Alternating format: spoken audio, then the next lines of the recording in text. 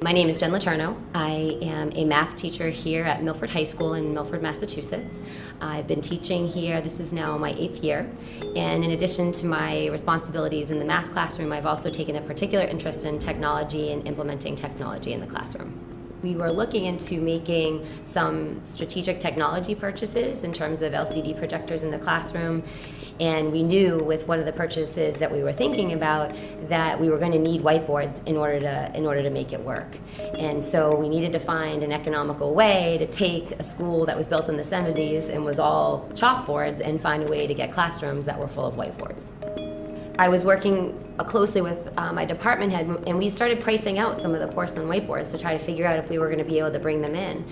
And the reality of the situation was no. And you know what we thought we were going to be able to do was maybe buy a couple of the porcelain boards for a couple of the math rooms, and we had 13 rooms. So we were saying basically, yes, we'll get the technology for just a couple of rooms because we can't afford, amazingly, we couldn't afford the whiteboards. We could afford the technology, but not the whiteboards. And then when we priced out IdeaPaint, we were able to do all 13 classrooms for what we thought was going to just be, you know, two or three, maybe four tops. So for us, it was a really big deal because in schools we have tight, tight budgets and we can't you know, always consider um, doing a global change for a department like that. So for us, it was really exciting that we were able to get so much accomplished um, on the budget that we had for that year. And I think it's, you know, realistic for a school to maybe, like, like ours, that's so departmentalized, to be able to do a department at a time and accomplish that.